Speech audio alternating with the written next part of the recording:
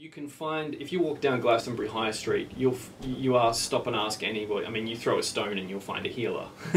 and if you say to them, "Oh, you know, you interested in alchemy?" They'll say, "Oh, yes, I am an alchemist."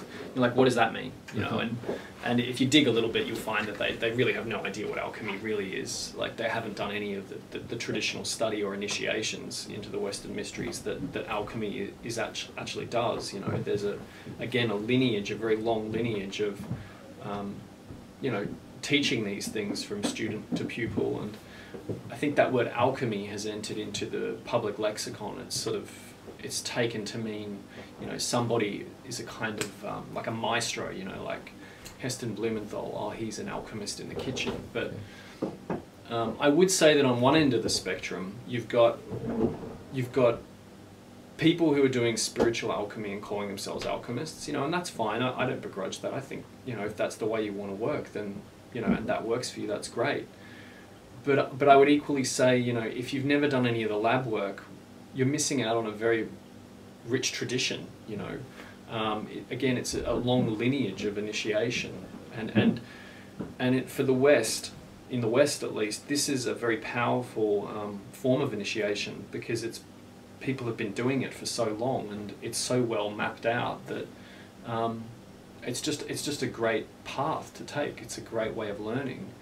Um, and so I'd almost say if you haven't you know even made a tincture or something, um, these practices help to ground your understanding and root it in the world. You know, and, and if you're in your mind a lot, which most people in the modern world, that's the main problem people have. They can't get out of their heads.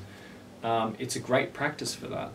So, to me, an alchemist is someone, someone who can um, worth who is worth their salt as an alchemist can can do the spiritual stuff, but they can do the physical lab alchemy as well. Um, but just saying that, on the other end of the spectrum, you've often got people who call themselves alchemists who work solely in the lab, you know, and you can find lots of these people on Facebook. You know, they they spend all their time in private making pretty things, you know, doing doing almost just the physical processes, but you know, um, in in the world, so to speak, out in the world with everyone else, they're just very Saturnian people. They're very undistilled. They're um, you know, they don't get along well with other people. They um, you know, I've I've met people like this who run schools of alchemy. You know, and it's it's kind of sad in a way because. Um, you know, they keep a very tight grip on their students, and they they, they have very um, myopic views about what alchemy is and that you know their way is the only way and no one else could possibly be doing it. And mm-hmm. you've sort of got to almost take a step back at points and go well you know you've got to have both don't you? You have to have some degree of being able to do the practices but actually see that what it's teaching you is is the microcosm. It's like you're seeing how these things manifest in the world and really, if you're learning properly, you should be able to take those principles and apply them to anything in your life. You know, the athanor does and the vessel doesn't have to be in the lab or inside you. It can be a relationship, it can be a company, hmm. it can be an you know an organization, it can be a country, it could be the world, it could be a solar system.